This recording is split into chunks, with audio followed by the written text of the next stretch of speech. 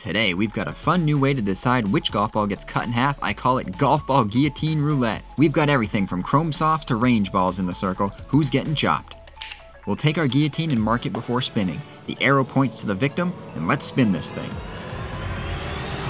Oh, look at that. We've got a premium urethane. It's the Maxfli Tour X. This is going to be a cool one to chop. As we slice through, let me know in the comments what ball we should add to the circle next, and be sure to tap subscribe for more. Muskrat Links is the place to be for unique golf content. We made it through. What do we have inside?